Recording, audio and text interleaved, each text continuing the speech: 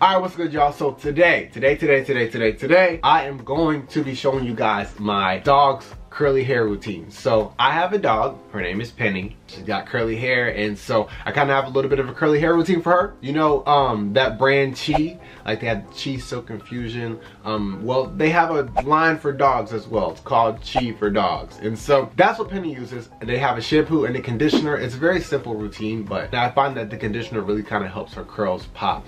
So pretty much what the routine looks like is I get Penny in the bath, bath and she's pretty good with baths. She's not like one of those dogs that tries to jump out of the bath all the time. She kind of just sits there and just like, okay, when is this going to be over? You know, type of thing. And so she's pretty good with that. She's pretty good with baths. So I so I wet her and get her all nice and wet up. And then I go ahead and take the shampoo, um, dog shampoo, and I just rub it all on her. It's pretty simple. I just take the shampoo, just rub it all over her. Make sure I'm getting everywhere all nice and sudded up so that I can get her, you know, nice and cleaned off everywhere. Um, making sure to kind of get in the paws because her paws can and the hair around her paws can get kind of dirty. Um, making sure to get around her butt because she is a furry dog, so sometimes when she poops, um, there's just a little bit of uh, you know, residue on her butt area. So making sure that I get that area um, pretty good. Um, I also like to make sure that I get her head and like around her mouth really good because you know when she's eating and drinking and all that stuff there's a lot of little a little mess that can get around her mouth and then uh, she recently had thrown up and so there was a little bit of that throw up smell in her mouth and it, it just needed to be cleaned up. Normally the groomers cut it but in between going to the groomers this is the routine that I do with her. Then I just go ahead and I rinse her off and I make sure the water is like really not not cold, but not hot at all whatsoever. Um, because I don't want to burn her or anything. So I just kind of get some lukewarm water and I just go ahead and take fill up a big cup. I don't have a shower head that I can remove. So I just take a big cup and I just rinse her off. Um, filling up the cup and just dumping the water on her to rinse her all off, making sure to get around her face and everything.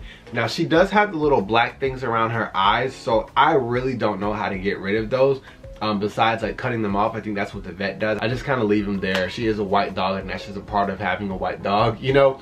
Um, and so I haven't found any way, if any of you guys know how to, a way to get rid of it, I don't know, some lady told me to try purified water, but like give her purified water instead of tap water, but that literally didn't do anything. So I don't know, but it's not, it's nothing too critical. It's, it's not, um, affecting her health or anything like that. So it's not that big of a deal. It's more of a cosmetic thing. But so then once she's all rinsed off, then I go ahead and I take the conditioner um, and I just make sure to get the conditioner all over her body, all, over her fur, not all over her body. I kind of avoid the like her belly area and her private area. I kind of avoid that area with the conditioner. There's no need. The conditioner is literally just to restore her hair so that it's nice and strong and healthy and, and gets that curl and that bounce back. Because she is a poodle and a Maltese, um, her hair does get pretty frizzy and so she just looks fluffy, more so curly.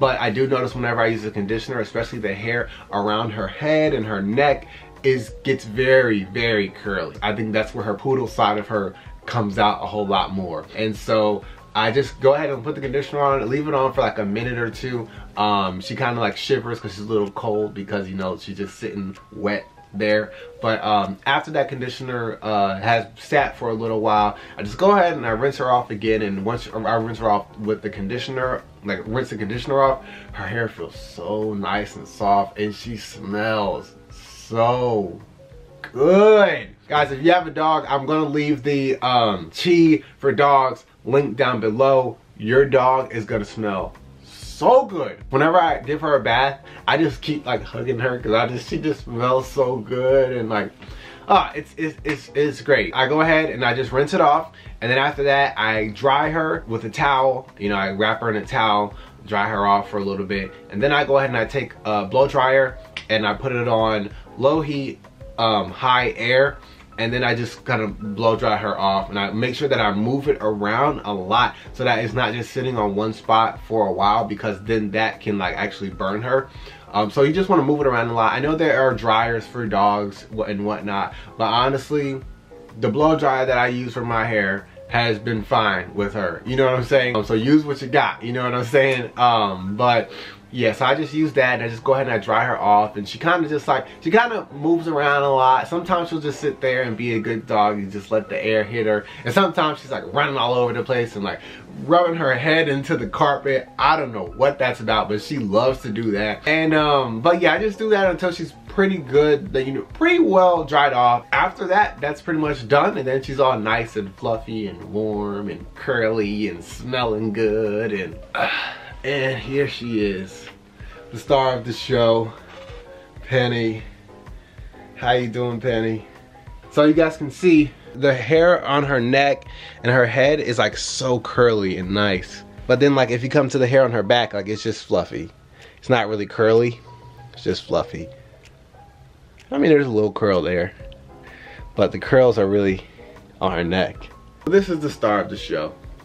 This is my little baby my child. So that's all for this video. I hope you guys enjoyed it. I know it's a little different. You probably never seen one of these videos on YouTube. That is my dog's curly hair routine. Thank you so much for watching. I hope it was entertaining. Maybe you guys have a dog. If you do, hopefully this is helpful. If you have a dog that has curls, um, these, these are great products for you. And if you have a dog who has long curly hair, um, then using that conditioner is really good for helping to detangle it. Because you know, dogs with long hair, they get knots easily. If they have like if they're fluffy like that, they get knot knotted up easily. And so having a conditioner and being able to like brush out those those knots with the conditioner in it um really helps. So that's all for this video. Hopefully it helped. Thank you so much for watching and I'll see you in the next video.